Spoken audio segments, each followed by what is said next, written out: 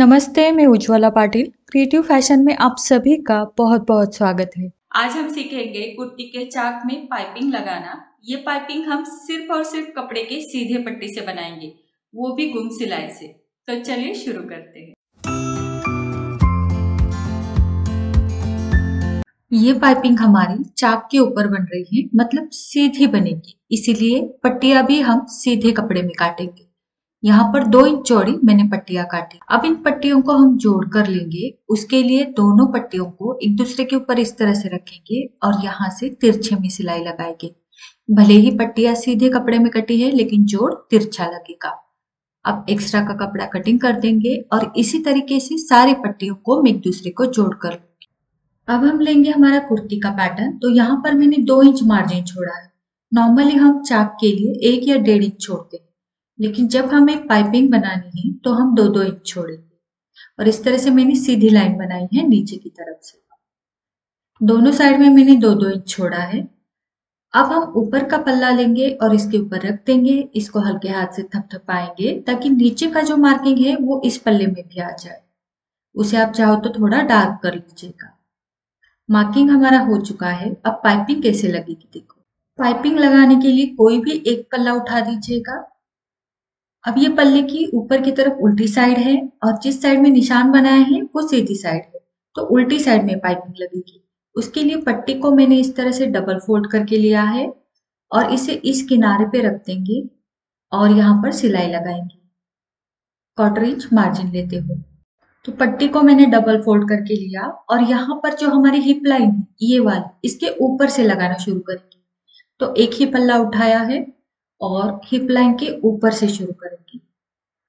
और इसके किनारे से सिलाई लगेगी। लगभग क्वार्टर इंच या उससे थोड़ा कम सिलाई मार्जिन रखते हुए आप सिलाई लगा सकते हो। तो सिलाई में एकदम इस किनारे से लगा रही हूँ और ये हमारी कुर्ती की उल्टी साइड है। सिलाई बस नीचे तक ही लगानी है और इस तरह से पट्टी अटैच हो गई है। अब यहाँ से यहाँ सिलाई लगने के बाद इसे हम सीधी साइड में लेंगे, क्योंकि ये उल्टी साइड है। तो इसे बस मैं सीधी साइड में ले लूँगी। सीधी साइड में लेने के बाद देखिए, इस पट्टी को हमें सीधी साइड में पलटना है। और ये आपको सीधी साइड में निशान भी दिख रहा होगा। तो सबसे पहले इसको मैंने नाखून से थोड़ा सा प्रेस करके लिया है और इसे हम इस तरह से सीधी साइड में फोल्ड करेंगे। फोल्ड करने के बाद आप देखिएगा, ऊपर की तरफ़ आपको कितनी पाइपिंग दिखानी है। पतली दिखानी है तो पतली लीजिएगा, थोड़ी बोल्ट दिखानी है तो इस तरीके से फोल्ड कीजिएगा। जैसा चाहे, जितना चाहे आप फोल्ड करके ऊपर की तरफ़ पाइपिंग बना सकते हो।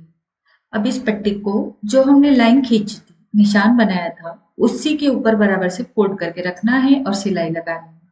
बहुत सिंपल तो देखिए, इस तरीके से पट्टी को फोल्ड किया। जितनी चाहे पाइपिंग ऊपर की तरफ़ दिखाना है, उतना फोल्ड करना है और बराबर से निशान के ऊपर रख देना है।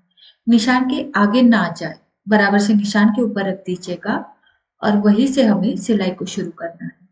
अब जो हमारी सिलाई है, वो पाइपिंग के बिल्कुल खाद से आएगी। ठीक है? ना पाइपिंग के ऊपर सिलाई जाएगी, ना ही कुर्ती के पैटर्न के ऊपर सिलाई जाएगी। सिलाई बिल्कुल इस पाइपिंग के खाद से आएगी। यहाँ पर मैंने क्लोज करके भी आपको दिखाया है। तो पाइपिंग को पहले अच्छे से फोल्ड करके लीजिएगा और फिर इसके खाद से सिलाई लगानी।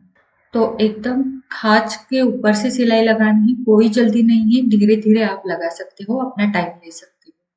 तो यहाँ पर आप सिलाई देख रहे हो, कुछ इस तरीके से ही आपको भी लगाना पाइपिंग की पट्टी अंदर की तरफ़ आप जितना चाहे फोल्ड कर सकते हो, और ऊपर की तरफ़ जितनी पाइपिंग आपको दिखानी है, उतनी पट्टी रखकर यहाँ पर सिलाई लगानी। तो इसी तरीके से हम आ गए हैं ऊपर की तरफ़ मतलब हिप लाइन्स की ओर, और यहाँ पर इस तरीके से इसको कंप्लीट करेंगे।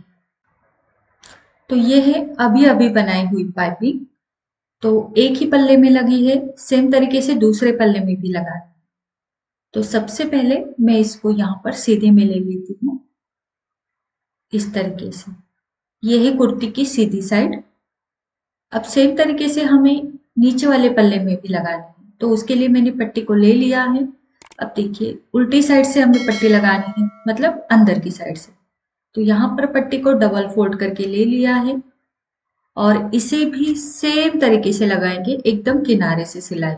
तो इस साइड की पट्टी की सिलाई आप नीचे से शुरू करते हुए ऊपर की तरफ़ हिप लाइन तक लेके जा सकते तो जैसे मैंने बताया, नीचे के पल्ले में भी मैंने पाइपिंग बना दी। अब हम इस पट्टी को इस तरीके से उल्टी साइड में पलटेंगे और यहाँ से सिलाई लगाएँगे या फिर आप तुरपाई भी कर सकते तो इस तरीके से सिलाई या तुरपाई लगने के बाद सीधी साइड में ये पाइपिंग कुछ इस तरीके से दिखेगी वो काफ़ी सुंदर लग रही है और फिनिशिंग भी अच्छा आ रहा है। सेम तरीके से इस पट्टी को भी अंदर की तरफ़ पलट देंगे मतलब उल्टी साइड में पलटेंगे। और इसे भी हम सिलाई लगाएँगे यहाँ से या फिर आप तुरपाई भी कर सकते हो। बहुत ही सिंपल तरीका है। तो यहाँ पर मैं आपको पट्टी को पलट के दिखाती हूँ। तो एक एक पल्ला लेके सबसे पहले इसे हम इस तरह से पलटेंगे। इस तरह से पलटने के बाद यहाँ पर हम इस किनारे से सिलाई लगाएँगे। अगर आप यहाँ पर सिलाई नहीं लगाना चाहते तो आप हाथ से तुरपाई भी कर सकते तो मैंने सिलाई लगा दी है और सिलाई लगाते हुए हम ऊपर की तरफ़ मतलब हिप लाइन की ओर आ गए। अब यहाँ पर थोड़ा ध्यान रखिएगा। यहाँ पर सुई को अंदर रखते हुए मैंने इसको घुमा के लिया है। सुई अंदर की तरफ़ ही रहनी चाहिए। फिर दोनों पल्ले आमने सामने चिपक के रखने हैं और फिर सिलाई लगानी है। अब सुई अंदर की तरफ़ ही रहेगी और कपड़ा घुमा के लिया है और फिर से ऊपर से नीचे किनारे से सिलाई लगाते हुए आए। तो जैसे मैंने बताया, यहाँ पर आप हाथ से तुरपाई भी कर सकते हो। तो बड़े ही फिनिशिंग के साथ हमारी ये पाइपिंग रेडी है। बिना डोरे के, सिर्फ़ कपड़े की सीधी पट्टी से यह पाइपिंग बनी है।